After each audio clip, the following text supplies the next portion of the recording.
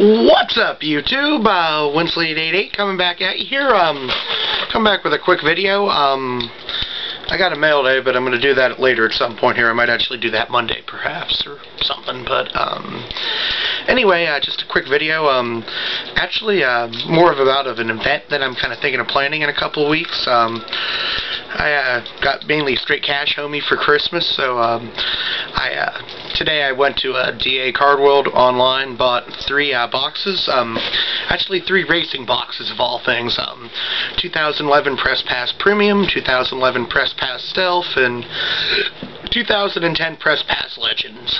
They had they were having clearance sales on them, so haven't busted a box in a neon, so figured we could go old school, bust some NASCAR boxes. Um, and I was thinking about actually doing it live on Blog TV. Um, the date I had in mind, I'm sending them back up to my school, and I start back on the 9th. So I was thinking Friday the 13th, January 13th, uh, Blog TV event, like about 8 p.m. Bust the boxes, shoot the shit.